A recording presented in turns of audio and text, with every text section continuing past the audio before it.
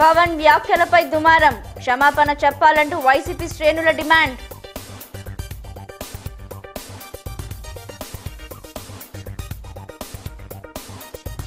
CM కార్యాలయం ముట్టడికి యత్నం. హెల్త్ మిషన్ ఉద్యోగులను అడ్డుకున్న పోలీసులు.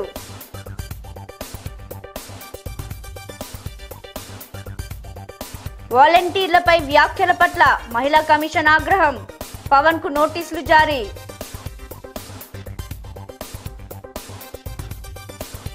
ప్రభుత్వ తీరును నిరసిస్తూ ముప్పై ఆరు గంటల దీక్ష చేపట్టిన అంగన్వాడీలు. తెలంగాణకు దీటుగా వేతనాలు ఇవ్వాలని డిమాండ్.